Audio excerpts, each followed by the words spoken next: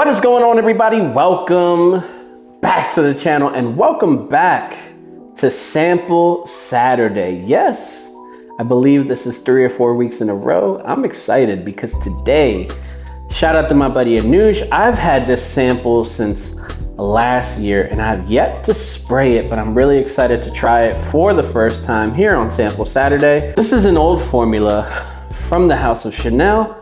This is Chanel Allure Homme Sport Cologne Sport. Yes, now full disclosure, I give Ross at TLTG Reviews all the credit for saying that this is the best version of the Allure Homme Sport DNA. So is it? I don't know. We're gonna find out right now. So let's get this on skin and see what we get from it. Sprayed right away. Hmm.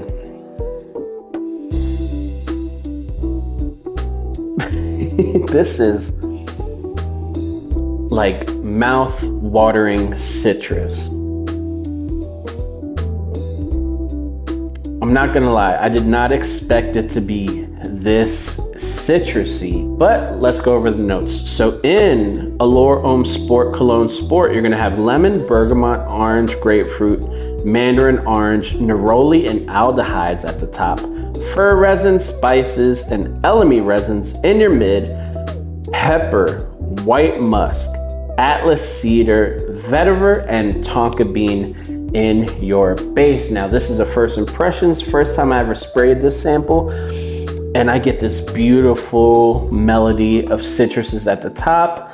You see, I did not expect this to be that citrusy, but as you can tell from the notes, it's like all the citruses in one and it is absolutely beautiful. Now I'm starting to get some aldehydes, which usually give me like that dryer sheet feel. And this is really nice. Now, this is a first impressions. Like I said, it's probably not gonna develop as much, but what could I expect according to the notes? I expect a slightly aromatic resinous base in your mid, and I expect this to dry down really nice, slightly powdery, which I'm excited about. But do me a favor, have you ever tried Allure Homme Sport Cologne Sport? Let me know down below. You guys have a blessed day.